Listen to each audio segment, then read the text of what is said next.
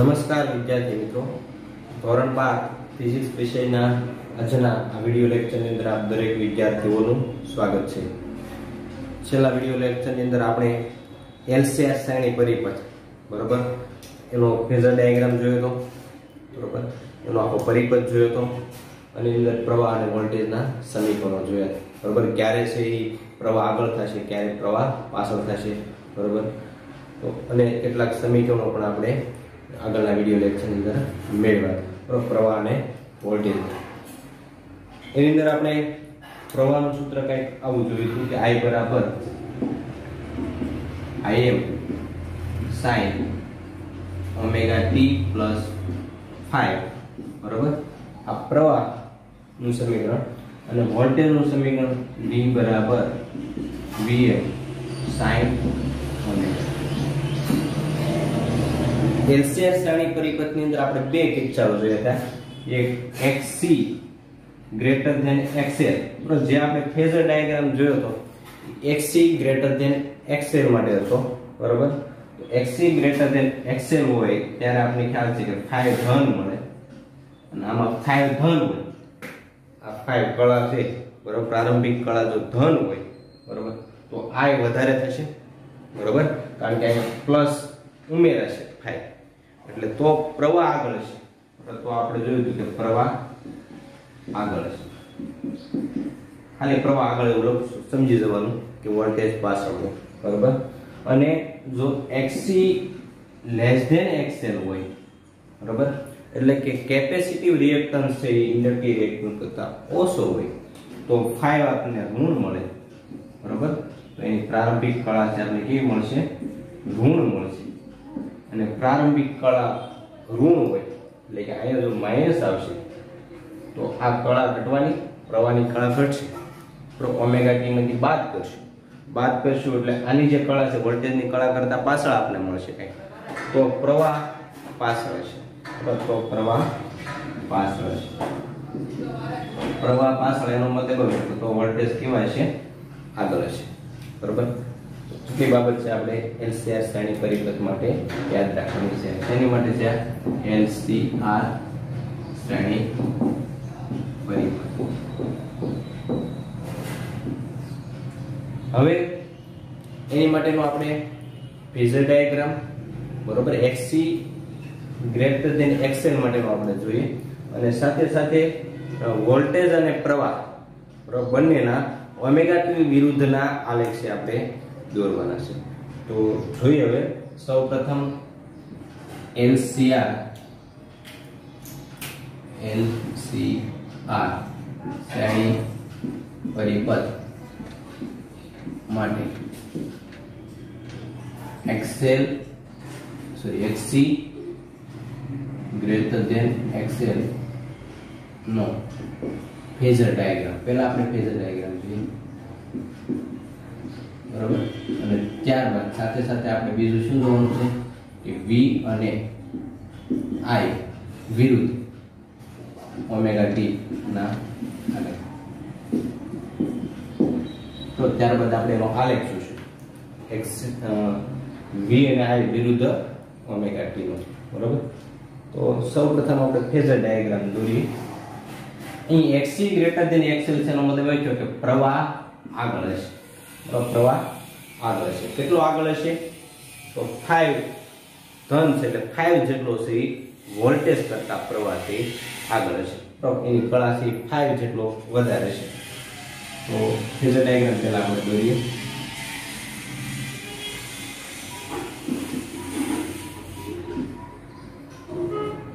ધારો કે આ વોલ્ટેજનો ફેઝર ડાયાગ્રામ છે. આ જે મેં ફેઝ દોર્યો, એ વોલ્ટેજ માટેનો છે.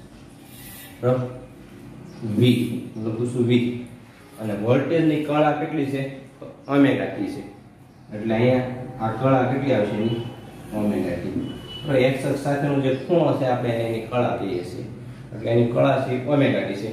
હવે પ્રવાહનો મારે ફેઝર દોરવો હોય, તો ઓમેગા ટી પ્લસ ફાઈવ, એટલે આની કરતા ફાઈવ જેટલી કળા વધારે લેવી પડશે આપણે. બરોબર?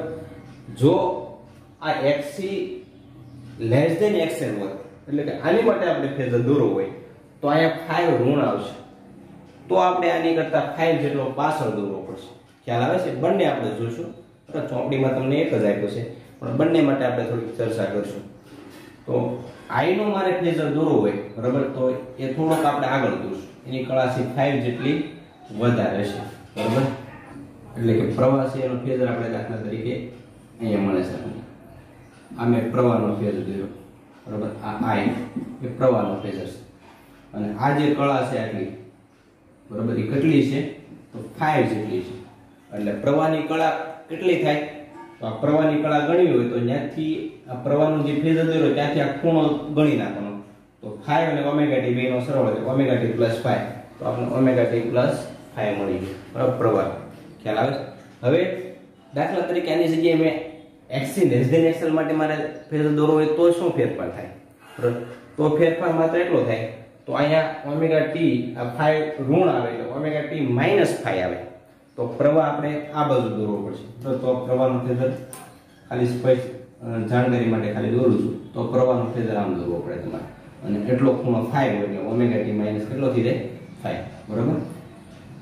આપણે અહીંયા ફક્ત કોના માટે દોરીએ છીએ? એક્સી ગ્રેટર દેન તો આ બંનેના આપણે ફેઝર જોઈએ. બરાબર, ફેઝર ડાયાગ્રામ બંને માટે જોયો.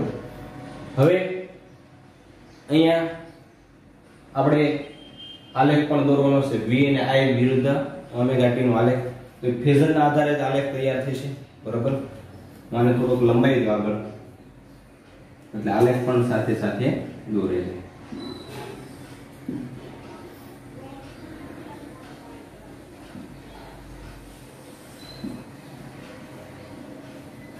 ચલો હવે ફેઝરના આધારે આલેખ દોરતા આપણે આગળ શીખી ગયા. આપણે ઇન્ડક્ટર, કેપેસિટર, અવરોધ. બરોબર? બધા માટે આલેખ દોર્યા હતા. હવે આપણે અહીંયા એલસીઆર, ત્રણે ત્રણ ભેગા હોય એની માટે દોરવાનો છે. તો અહીંથી આને આપણે લંબાવી દઈશું. ડોટેડ લાઈન વડે. રીતે પ્રવાહ આપણે શા માટે લંબાવી છે? એની મહત્તમ વેલ્યુ છે નક્કી કરવા માટે. તો મહત્તમ વેલ્યુ ક્યાં સુધી જશે? એટલા માટે આ હું ડોટેડ લાઈન વડે લંબાવું છું. કારણ કે પ્રવાહની મહત્તમ વેલ્યુ એટલે સુધી જાય. બરોબર વોલ્ટેજની મહત્તમ વેલ્યુના ફેઝરનું જે અહીંયા જે એરો આવે છે, ત્યાંથી આપણે દોરશું. બરાબર? હવે પ્રવાહ આગળ છે અને વોલ્ટેજ પાછળ છે. બરાબર? પહેલા હું વોલ્ટેજ માટે ગ્રાફ કરું, તો વોલ્ટેજનો હું 0 થી શરૂઆત કરું છું.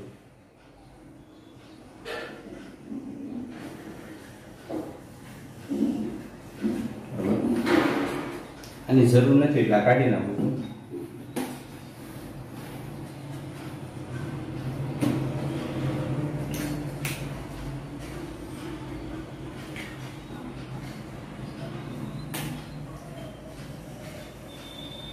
બરાબર? આ વોલ્ટેજ માટેનો ગ્રાફ છે, V માટે.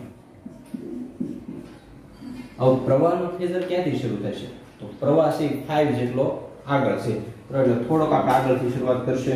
તો આ 0 થી શરૂ કરતા આ થોડીક આગળથી. અને કળા તફાવત 5 જેટલો છે. અને આ પ્રવાહનો ફેઝર છે.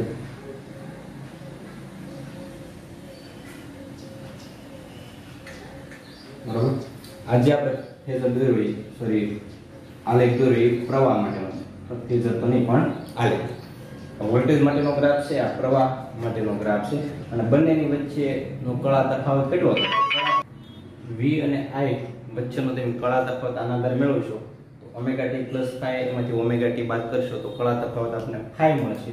એટલે અહીંયા આપણે કળા તફાવત મેળવીએ, બરોબર? અહીં તો આલેખની અંદર કળા તફાવત આપણે દર્શાવવો હોય. તો મહત્તમ વેલ્યુ બંનેની જે હોય એની વચ્ચેનો તફાવત લેવાનો. આ પ્રવાહની મહત્તમ વેલ્યુ અહીંયા આપણને મળે છે બરોબર? અને વોલ્ટેજની મહત્તમ વેલ્યુ અહીંયા આગળ મળશે. એટલે આ તફાવત છે કેટલો હશે? ફાઈવ જેટલો છે કળા તફાવત એટલે બંનેની મહત્તમ વેલ્યુ વચ્ચેનો જે તફાવત એને આપણે કળા તફાવત કહીએ છીએ. વોલ્ટેજની મહત્તમ વેલ્યુ આપણે અહીંયા મળે છે. પ્રવાહની મહત્તમ વેલ્યુ અહીંયા મળશે. એટલે આ તફાવત છે કેટલો છે ફાઈવ જેટલો છે બરોબર? તો આ આપણે વી અને આઈ વિરુદ્ધ ઓમેગા ટી, બરોબર? એનો આપણે ગ્રાફ જોયો. એલસીઆર એસી શ્રેણી પરિપથ માટે બરોબર?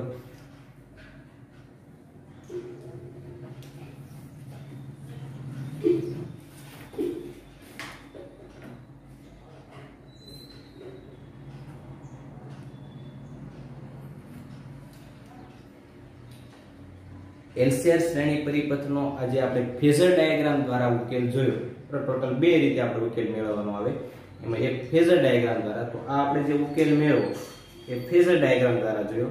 અને આ ઉકેલ છે એ સ્થાયી અવસ્થા ઉકેલ કહેવામાં આવશે બરાબર? ફેઝર ડાયાગ્રામ દ્વારા જે ઉકેલ મળે છે, એની એક મર્યાદા છે કે એમાં જે ઉકેલ મળશે સ્થાયી અવસ્થા ઉકેલ કહેવામાં આવે છે. એટલે કે ક્ષણિક અને સ્થાયી, બરાબર? બંનેનો સમન્વય જોવા મળતો નથી. જ્યારે આગળ જે આપણે વૈશ્લેષિક ઉકેલ મેળવવાનો છે, બરાબર? તો એ આપણને જે ઉકેલ મળશે, એ સ્થાયી અને જે ક્ષણિક ઉકેલ, એટલે કે વ્યાપક ઉકેલ મળશે. એટલે એની એક આ મર્યાદા છે ફેઝર ડાયાગ્રામ દ્વારા જે ઉકેલ મળશે, એ આપણે વ્યાપક ઉકેલ મળતો નથી. પણ કેવો ઉકેલ મળશે આપણે સ્થાયી અવસ્થા ઉકેલ મળશે. તો વ્યાપક ઉકેલ મેળવવા માટે આપણે છે એની કઈ રીત જોવી પડશે? તો વૈશ્લેષિક રીત છે આપણે સમજવી પડશે. બરાબર? તો હવે આગળ આપણે આ એલસીઆર શ્રેણી પરિપથ માટેની વિશ્લેષણની રીત જોઈએ કે જેમાં આપણે ગાણિતિક વિશ્લેષણ દ્વારા આપણે પ્રવાહ અને વોલ્ટેજના સમીકરણો છે એ મેળવવાના છે. બરાબર? તો જોઈએ હવે વિશ્લેષણની રીત.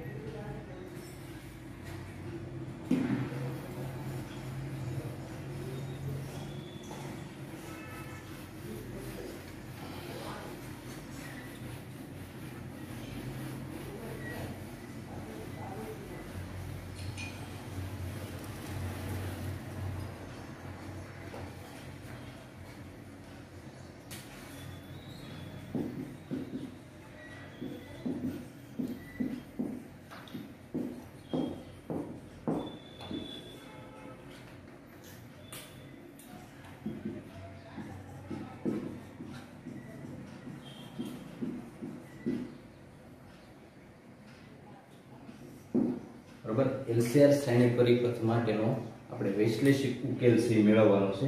સૌપ્રથમ હું એલસીઆર શ્રેણી પરિપથ દોરી નાખું. બરાબર, ઇન્ડક્ટર, કેપેસિટર અને અવરોધ. એસી સપ્લાય છે. એલ સી આર વી બરાબર વીએમ સાઇન ઓમેગા આ એલસીઆર શ્રેણી પરિપથ છે. આનો આપણે વૈશ્લેષિક ઉકેલ મેળવવાનો છે. તો હવે આપણે ફેઝર ડાયાગ્રામની મદદથી ઉકેલ મેળવ્યા બાદ આપણે એનો વૈશ્લેષિક ઉકેલ મેળવવો છે. તો એની માટે સૌપ્રથમ તો અહીંયા જે શ્રેણીમાં ત્રણે ત્રણ જોડેલા છે ઘટકો, બરોબર? એલસી અને આ ત્રણે ત્રણ ઘટકો છે. એના આપણે વોલ્ટેજનો સરવાળો કરીએ તો આપણે કુલ વોલ્ટેજ મળશે. પહેલાં તો ઇન્ડક્ટરના વોલ્ટેજ કેટલા હોય છે? એ આપણે ખ્યાલ છે L D I by DD થોડીક લાંબી રીત છે વૈશ્લેષિક રીત. થોડુંક લંબાણથી આપણે સમીકરણો તારો બનાવશું. બરોબર? પ્લસ, અવરોધ માટે શું આવશે? તો આઈ ઇન્ટુ આર અવરોધનો વોલ્ટેજ કેટલા હોય? તો આપણે ખ્યાલ છે IR વત્તા કેપેસિટરના વોલ્ટેજ કેટલા હોય? બે છેડા વચ્ચેના. બરોબર? તો ક્યુ બાય સી બરાબર? તો કુલ વોલ્ટેજ એટલે કે બી બરોબર? આ આપણને એલસીઆર શ્રેણી પરિપથ માટે કુલ વોલ્ટેજનું સમીકરણ છે મળ્યું. બરોબર? આ ઇન્ડક્ટરના વોલ્ટેજ, આ અવરોધના બે છેડા વચ્ચેના વોલ્ટેજ અને કેપેસિટરની બે પ્લેટો વચ્ચેના વોલ્ટેજ. બરાબર શું થાય છે? તો કુલ વોલ્ટેજ, કારણ કે શ્રેણી જોડાણમાં વોલ્ટેજ અલગ અલગ હોય ત્રણે ત્રણના. અને કુલ વોલ્ટેજ મેળવે તો ત્રણે ત્રણના વોલ્ટેજનો આપણે શું કરવો પડે? સરવાળો કરવો પડે. હવે આખું સમીકરણ છે એને આપણે ક્યુના સ્વરૂપમાં ફેરવું છે.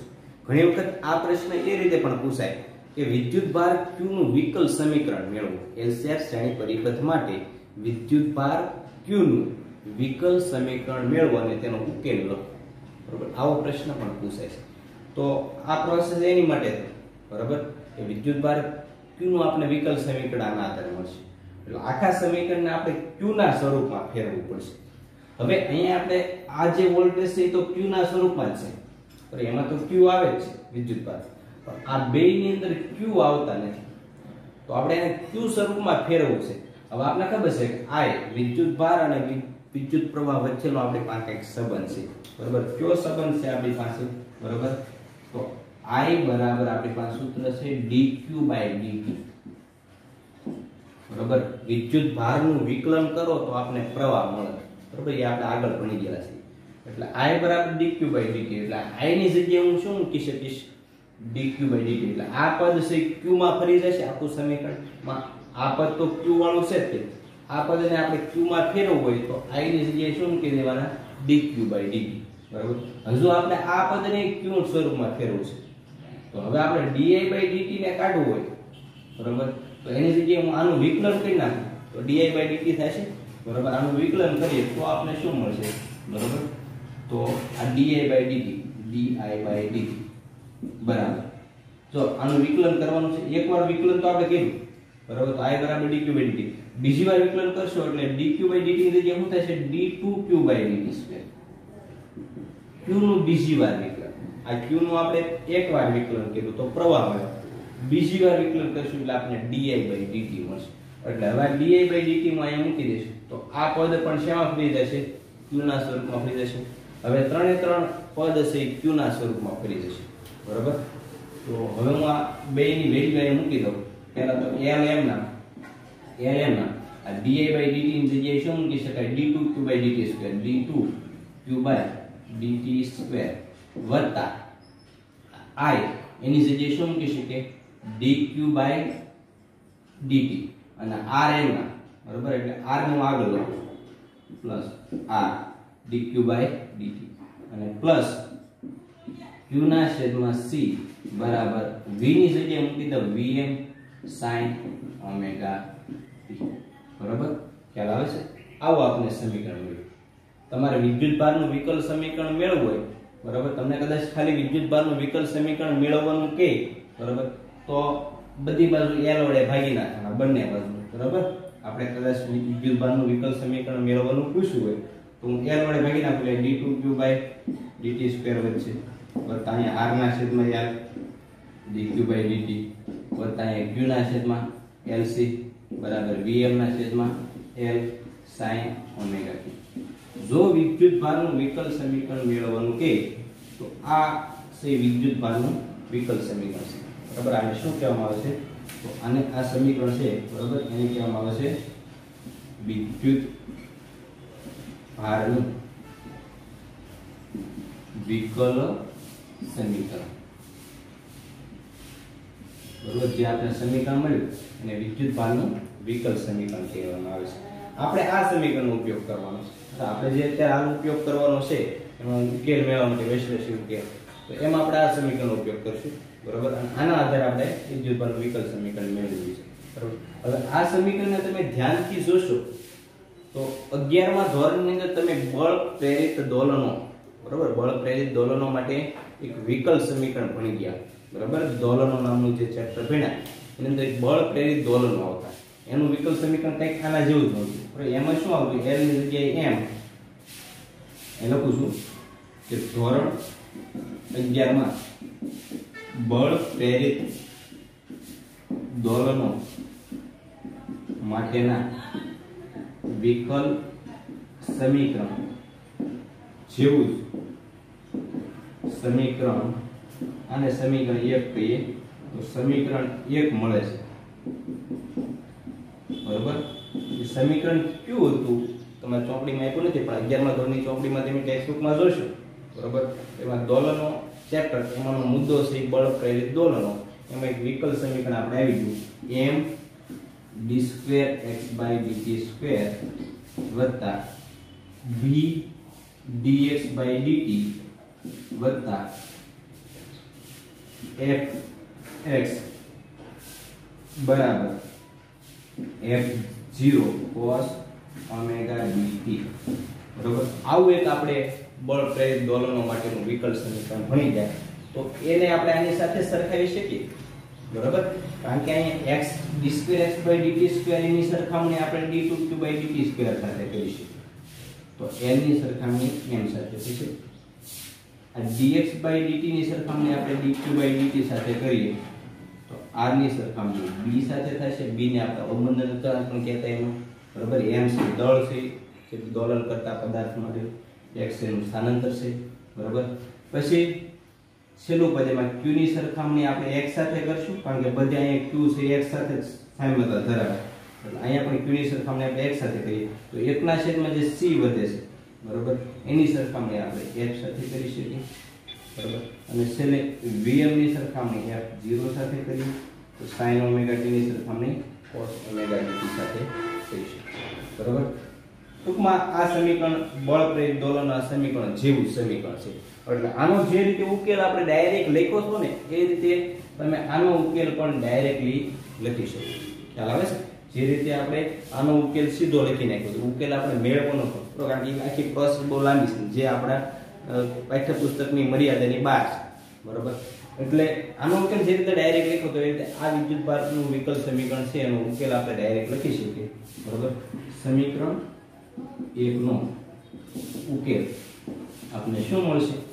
એનો ઉકેલ છે આપણે ક્યુ સ્વરૂપે મળશે. ક્યુ બરાબર qm sin ઓમેગા t વત્તા થીટા એવો આપણે ઉકેલ મળશે. બરોબર? આ એનો ઉકેલ છે. આપણે ડાયરેક્ટલી લખી નાખવાનો છે. જે યાદ રાખવાનું છે. Q બરાબર qm sin ઓમેગા t વત્તા તો phi નથી. તો phi તો પ્રવાહ અને વોલ્ટેજ વચ્ચેનો કળા રાખવાનો છે. એટલે અહીંયા વિદ્યુત ભારનું સમીકરણ છે. એટલે ઓમેગા t પ્લસ થીટા આવશે. બરોબર? કારણ કે વિદ્યુત ભારની કળા પણ કંઈક અલગ હશે.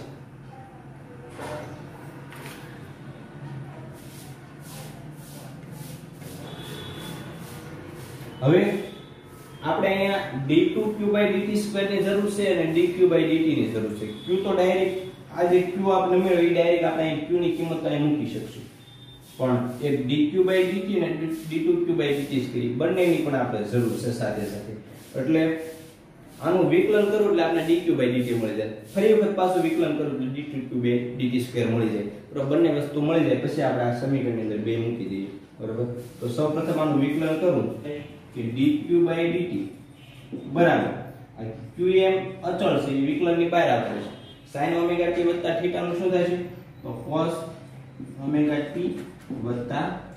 થીટા અને જો ખૂણાનું બાકી છે ખૂણો એટલે ઓમેગા t થીટા એનું શું થાય છે? તો ઓમેગા t નું ઓમેગા થશે t ની સાપેક્ષે. અને થીટા નું 0 થશે થીટા અચળ છે.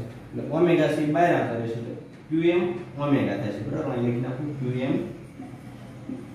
ખ્યાલ આવે છે? ઓમેગા ને મેં બહાર લઈ લીધા છે. એટલે પહેલા આપણે qm અચળ એમ નામ રાખ્યા sin નું cos થઈ ગયું અને ખૂણાનું જે ઓમેગા ડી આવશે એ બહાર લઈ લીધા, બરોબર? આને સમીકરણ નંબર આપી દઉં. અને સમીકરણ 1 સોરી સમીકરણ 2 અને સમીકરણ નંબર 3 બરોબર? જો ફરીવાર આપણે એકવાર વિકલન કરીએ. dq/dt તો આપણે મળી જાય આપણે એમ છે. જો d2 d2q/dt2 એ આપણે જરૂર છે. એટલે ફરી વિકલન કરું. તો d2q/dt2 આનું ફરીવાર આપણે વિકલન કરીએ તો qm ઓમેગા m નામ રહેશે qm ઓમેગા m નામ રહેશે બરોબર? ચલો. આ cos નું થાય છે માઇનસ sin ઓમેગા t. બરોબર? એટલે માઇનસનું બહાર લઈ આવું અને sin ઓમેગા t વત્તા થીટા બરોબર? હજુ ખૂણાનો બાકી છે. ઓમેગા t વત્તા થીટા નું શું થાય છે? તો ઓમેગા થશે. બરોબર? એ આપણે બહાર લઈ લઈએ. ઓમેગા એક હતા અને બીજા ઓમેગા એટલે ઓમેગા નો સ્ક્વેર થશે. બરોબર? તો આ આપણને જે સમીકરણ મળ્યું એને આપણે સમીકરણ નંબર ચાર આપી દઈએ. જો આપણે કયા કયા સમીકરણો મળ્યા? એક q નું મળ્યું, વિદ્યુત ભારનું, એક dq/dt નું મળ્યું, અને એક d2q/dt2 નું મળ્યું. આ ત્રણે ત્રણ આપણે અહીંયા જરૂર પડશે. Q dq/dt અને d2q/dt2 ત્રણે ત્રણની કિંમત છે આપણે સમીકરણ 1 માં મૂકી દઈએ. 2 3 અને 4 ની કિંમત સમીકરણ 1 માં મૂકતા. બરોબર? તો કેવું સમીકરણ બનશે? જો આ ALM ના હું એ લખતો નથી કે આ સમીકરણની કિંમત આમાં મૂકવા મૂકતા. બરોબર? કારણ કે એ બધું લખીશ તો પ્રોસેસ પ્રક્રિયા જે ઘણી બધી લાંબી છે. બરાબર આપણે જે ગાણિતિક પ્રક્રિયા કરવાની છે, ઘણી બધી લાંબી છે. બોર્ડમાં સમજ નહીં એટલે તમારે સમજી જવાનું કે આ ત્રણે ત્રણની કિંમત છે. આપણે ક્યાં મૂકવાની છે? સમીકરણ નંબર 1 માં. L આ d2q/dt2 બરાબર? d2q/dt2 ની જગ્યાએ શું મૂકી શકીએ આપણે? Minus Q M omega square qm omega square અને શું આવશે? sin ઓમેગા t વત્તા theta sin omega t plus theta બરાબર? આ minus qm omega square sin omega t વત્તા થીટા ત્યારબાદ આ બીજું પદ આવશે. Plus r. આ dq dt ની જગ્યાએ આપણે શું મૂકી શકીએ? તો qm omega cos omega t વત્તા theta qm omega cos omega T વત્તા થીટા. બરાબર? પ્લસ, આ ક્યુ ની જગ્યાએ આપણે મૂકી શકીએ qm sin omega T plus theta. તો qm sin omega T plus theta. છેદમાં જે હતું એમના રહેશે. સી તો એમના રહેશે. છેદમાં આવશે સી અને બરાબર. આગળ શું છે? તો vm sin ઓમેગા તો એમના રહેશે vm sin ઓમેગા ટી. ખ્યાલ આવ્યો? શું કર્યું આપણે? આ ત્રણે ત્રણ જે કિંમતો છે, q dq dt અને dq dt નો સ્ક્વેર અને ક્યાં મૂકી દીધી? સમીકરણ નંબર 1 હવે આપણે આનું વિસ્તરણ કરવું છે, બરાબર? આનો ઉકેલ મેળવવો છે. તો સૌપ્રથમ, પહેલા તો દરેકમાંથી આપણે qm ઓમેગા ને કોમન કાઢશું. જો આમાં qm ઓમેગા છે, બરાબર? આમાં જે qm ઓમેગા છે આમાં qm છે ઓમેગા નથી એટલે આપણે આ જે પદ છે એમાં ઓમેગા વડે ગુણી નાખશું ઓમેગા વડે ભાગી નાખશું. તો ત્રણે ત્રણમાંથી qm ઓમેગા છે ને આપણે બહાર કાઢી દઈએ, બરાબર? તો પહેલા તો હું qm ઓમેગા ને બહાર કાઢું એટલે qm ઓમેગા એટલે હવે વધે લખતા જઈએ સાથે સાથે. મેં આમાંથી qm ઓમેગા બાદ કર્યા એટલે માઇનસ એક વધશે આ l વધશે, બરાબર?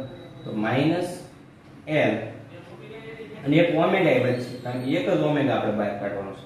એટલે માઇનસ ઓમેગા એલ વધશે શું વધશે માઇનસ ઓમેગા એલ આ સાઈન ઓમેગા ટી વત્તા થીટા એલ આવે રહેશે. બરોબર? પ્લસ આમાંથી તો એ qm ઓમેગા બહાર કાઢીએ એટલે ખાલી આર વધશે એટલે plus R cos omega T plus theta plus આમાંથી આપણે ક્યુએમ ઓમેગા બહાર કાઢવાના છે. પણ ઓમેગા તો ત્યાં છે નહીં. એટલે ઓમેગા વડે ઉપર નીચે ગુણી નાખીએ. બરોબર? એક qm ઓમેગા તો બહાર આવતા રહેશે, એટલે ખાલી 1 અપન શું વધશે? ઓમેગા c વધશે. આ ઓમેગા ક્યાંથી આવ્યા તો આપણે જે ઓમેગા વડે ગુણ્યા તો ઓમેગા વડે ભાગ્યા. બરોબર? જે ઓમેગા વડે ગુણ્યા qm ઓમેગા આપણે બહાર લઈ લીધા એટલે 1 અપન ઓમેગા c. આ બધી બેઝિક ગણતરી છે, જે તો આપણને ખ્યાલ હોવો જોઈએ. બરોબર?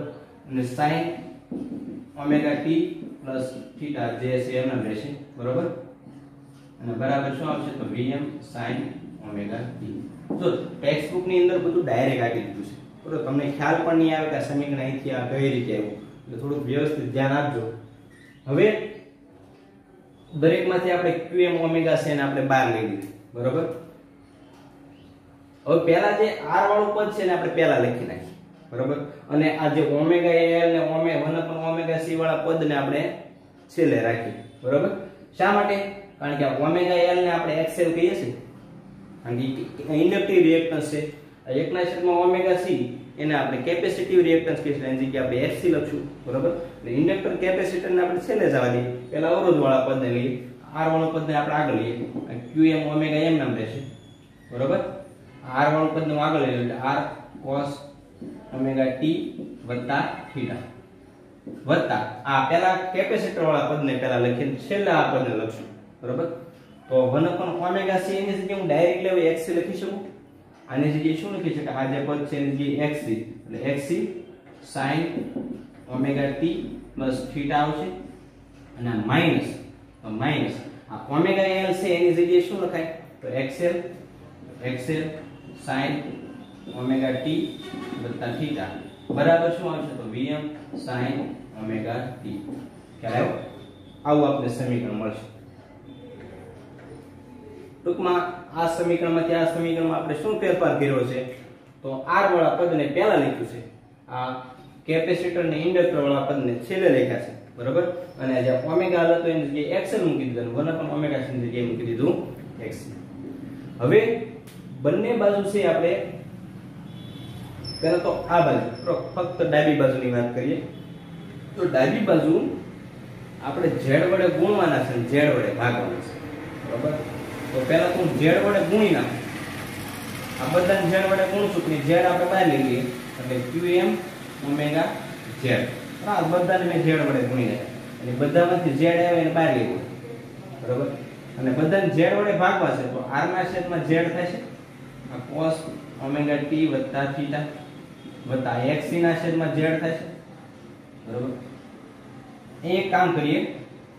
Sin ઓમેગા t વત્તા θ અને sin ઓમેગા t વત્તા θ બેયમાંથી પહેલા કોમન લઈ લે. બરાબર? તો વચ્ચે શું? xc xl વચ્ચે એટલે xc xl. અને z વડે તો ભાગવાના જ છે બધાને. બરાબર? એટલે છેદમાં z આવશે. અને આ sin ઓમેગા t વત્તા θ બેયમાંથી કોમન નીકળી જાય. બહાર લઈ લઈએ. sin ઓમેગા t વત્તા θ બરાબર? તો vm sin ઓમેગા ખ્યાલ આવ્યો શું કર્યું મેં? ઝેડ વડે ગુણ્યા ઝેડ વડે ભાગ્યા. ઝેડ વડે ગુણ્યા તો બધામાં કોમન બાય લઈ લીધા, પણ ભાગવાના સ્વતંત્ર છે બધા. બરોબર? અને ઝેડ વડે ભાગશો એટલે આર ના છેદમાં ઝેડ થશે. અને બે ને ઝેડ વડે ભાગવા છે, પણ એ પહેલા આપણે સાઈન ઓમેગા ટી વત્તા થીટા બે માંથી કોમન લઈ લીધા. એટલે xc xl વચ્ચે અને છેદમાં ઝેડ આવશે. બરાબર? Vm sin ઓમેગા હવે આપણે એક ઇમ્પિડન્સ નો ફેઝર ડાયાગ્રામ આગળ જોઈ ગયા. હવે ઇમ્પિડન્સ માટેનો ડાયાગ્રામ એ ડાયાગ્રામ હું ફરી વખત અહીંયા દોરું છું, કારણ કે એનો ઉપયોગ હવે આપણે અહીંયા કરવાનો છે. તો ઇમ્પિડન્સ ડાયાગ્રામ આપણે કંઈક આવો છે જો ખાસ ધ્યાન રાખજો અહીંયા આવો ઇમ્પિડન્સ ડાયાગ્રામમાં આપણે નામ આપ્યું છે અહીંયા ઝેડ અહીંયા આર અને અહીંયા xc માઇનસ xl અહીંયા શું હતો એને આપણે થાય કહેતા એની કળા યાદ આવ્યું બરોબર હમણાં આગળના બે એક બે લેક્ચરની અંદર જ આપણે આ જોઈ ગયા છીએ, બરોબર? કે Z R XC minus XL impedance છે બધાના. આ અવરોધ માટેનો અવરોધ છે, બરોબર? પછી એક્સી માઇનસ એક્સએલ એટલે કેપેસિટર અને ઇન્ડક્ટર બેનો ભેગો રિએક્ટન્સ છે અને આ છે આખા એલસીઆર પરિપથનો ઇમ્પિડન્સ છે, બરાબર? તો હવે આર ના છેદમાં ઝેડ મારે મેળવવું હોય આર બાય ઝેડ તો શું કરવું પડે આ કાટકોણ ત્રિકોણમાં? જો આ કાટકોણ ત્રિકોણ બને છે. તો કાટકોણ ત્રિકોણમાં અમારે આર ના છેદમાં ઝેડ મેળવવું હોય, તો cos ફાઈ લો તો પાસે બાજુ છેદમાં કરંટ એટલે આપણે આર ના છેદમાં ઝેડ મળશે. એટલે આનો તમામ cos ફાઈ લો બરાબર? cos ફાઈ બરાબર શું આવશે? આર ના છેદમાં ઝેડ આવશે અને એક વસ્તુ આપણે આરના છેદમાં ઝેડ બરાબર મળી ગઈ, cos ફાઈ એવી રીતે મારે xc xl ના છેદમાં ઝેડ જોઈએ છે. xc xl ના છેદમાં ઝેડ લાવો તો સામેની બાજુ છેદમાં કર્ણ થાય. બરોબર? તો ઈશાનું સૂત્ર બનશે sin phi નું સૂત્ર બનશે. એટલે sin phi બરાબર xc xl ના છેદમાં સોરી z આ sin phi નું આપણે સમીકરણ મળ્યું. તો જો આપણે tan phi માટે પણ લખી શકીએ, આમાં જરૂર નહીં પડે, પણ એક આપણે કળાનું સૂત્ર મેળવવા માટે આપણે લખી નાખીએ સાથે tan phi લખવું હોય, બરાબર, તો tan phi બરાબર શું આવે? તો સામેની બાજુ છેદમાં પાછળ બાજુ તો tan phi બરાબર xc xl ના છેદમાં r આવશે. અથવા તો phi બરાબર લખવું તો tan ઇન્વર્સ xc xl ના છેદમાં r આવશે. એમાંથી આપણે બંને સમીકરણનો આ ઉપયોગ કરવાનો છે. આ સમીકરણની અંદર આપણે જે છેલ્લા સમીકરણ મેળવ્યું, બરાબર? એમાં એક r ના છેદમાં ની, z ની જગ્યાએ આપણે cos phi મૂકશું અને xc xl ના છેદમાં z ની જે આપણે sin phi મૂકશું, બરાબર? તો એ બંને વસ્તુ મૂકી દઉં તો આ સમીકરણને આ સમીકરણ આ રીતે શકું અહીંયા. કે qm ઓમેગા z, આ એમ રહેશે ખ્યાલ r ના છેદમાં z, બરાબર? એની જગ્યાએ હું cos phi મૂકીશ, બરાબર? પહેલા આ પદ લખ્યું તો પણ ચાલશે. કે ગુણાકારમાં કે ક્રમને મહત્વ નથી. તેનો હું આ પદ લખી નાખું. cos ઓમેગા t વત્તા થીટા ગુણ્યા. R ના છેદમાં z છે જે શું મૂકીશ? cos phi. વચ્ચે નિશાની પ્લસ બરાબર? હવે પહેલા હું sin ઓમેગા t વત્તા phi લખી નાખું. sin ઓમેગા t વત્તા થીટા સોરી phi ની થીટા અને xc xl ના છેદમાં z છે. એની જગ્યાએ આપણે શું મૂકી શકીએ? sin phi મૂકી શકીએ. એટલે એની જગ્યાએ મૂકી દઉં હું sin phi બરાબર, શું આવશે વીએમ સાઇન ઓમેગા ટી ખ્યાલ આવ્યો?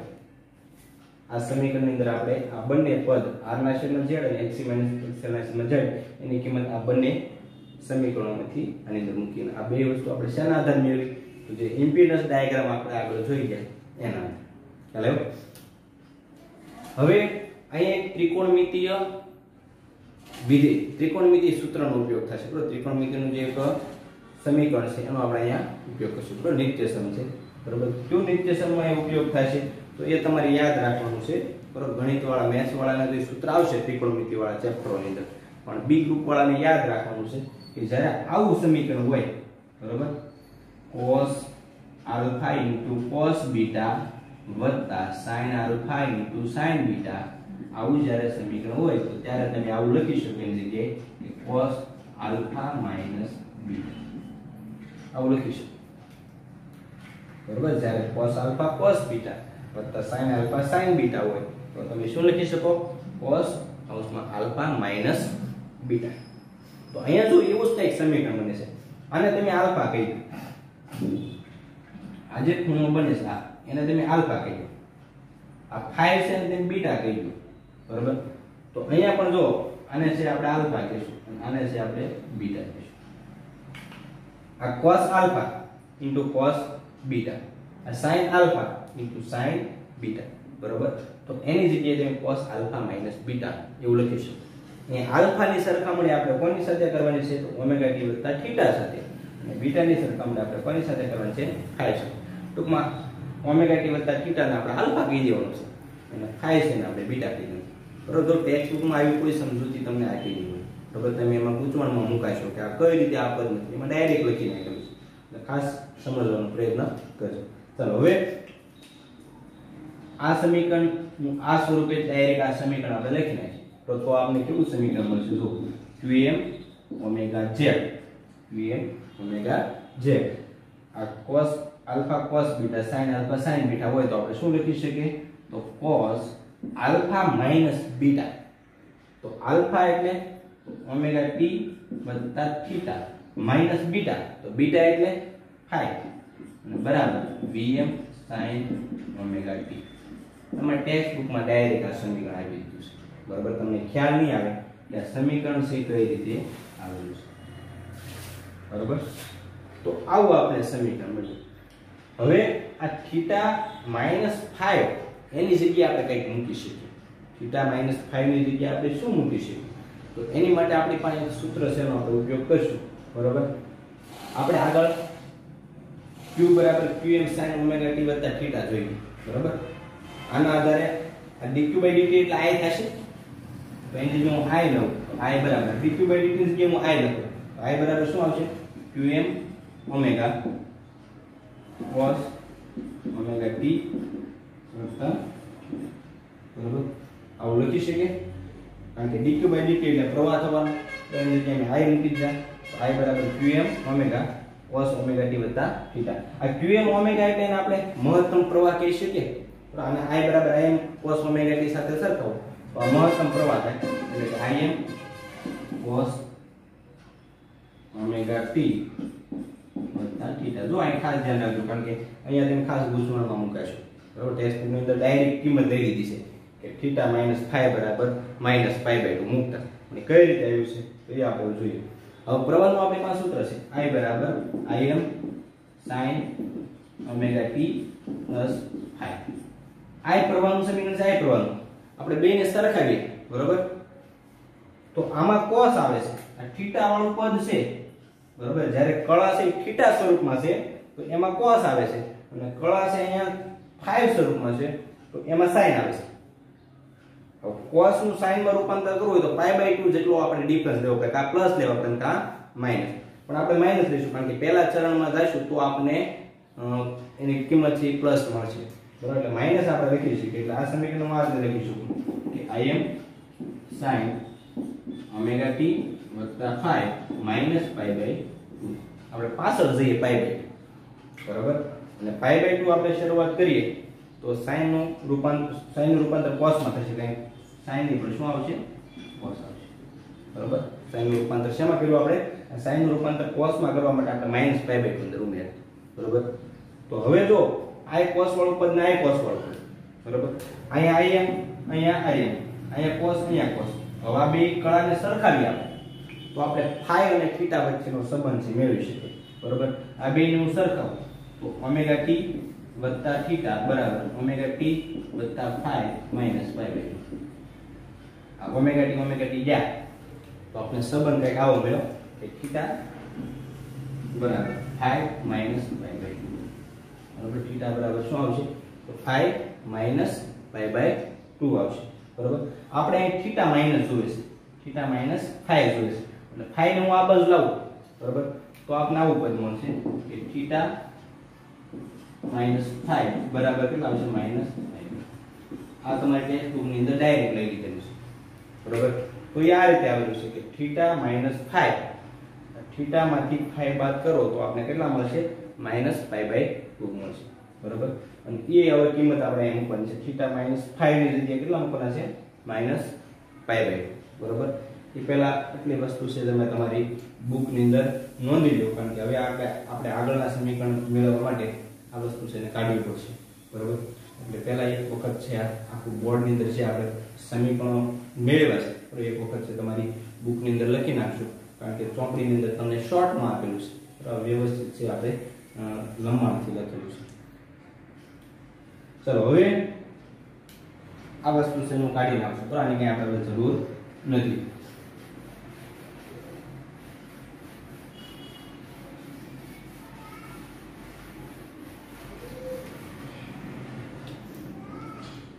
હવે આ થીટા માઇનસ ફાઈવ છે કે માઇનસ ફાઈવ બાય ટુ કયા સમીકરણમાં? તો આ સમીકરણમાં. હું થીટા માઇનસ ફાઈવની જગ્યાએ કેટલામાં કીધું? માઇનસ ફાઈવ બાય ટુ તો M omega Z into cos omega t બરોબર? આ પ્લસ થીટા માઇનસ ફાઈવ છે જે માઇનસ ફાઈવ બાય ટુ લીધું છે માઇનસ ફાઈવ બાય ટુ બરાબર શું આવશે? vm sin ઓમેગા હવે cos omega t minus pi by બરોબર પાઈ બાય ટુ આગળથી આપણે શરૂઆત કરીએ તો પંચનું રૂપાંતર શેમાંથી થશે sin તમે કોઈ પણ ખૂણાની અંદર પાઈ બાય ટુ ઉમેરો તો પાઈ બાય ટુ બાદ કરશો એમાંથી. તો cos રૂપાંતર શેમાં થશે સાઈનમાં બરાબર? કારણ કે પહેલા અને બીજા છે બરાબર? આમાંથી ઓમેગા ટી માંથી પાઈ બાય ટુ બાદ કરશો એટલે પહેલા જન્મમાં બધા ધન બરાબર? તો 2m ઓમેગા z, આ કોસનું રૂપાંતર શેમાં થશે સાઈન. ઓમેગા t, બરાબર? bm સાઈન ઓમેગા બે બાજુ sine omega t sine omega t cancel થઈ જાય. તો આપણે બીએમ બરાબર શું મળશે 2m ઓમેગા z બરાબર આ આપણે vm મહત્તમ વોલ્ટેજનું સમીકરણ મળ્યું બરાબર આ qm ઓમેગા છે, એને આપણે શું કહી શકીએ?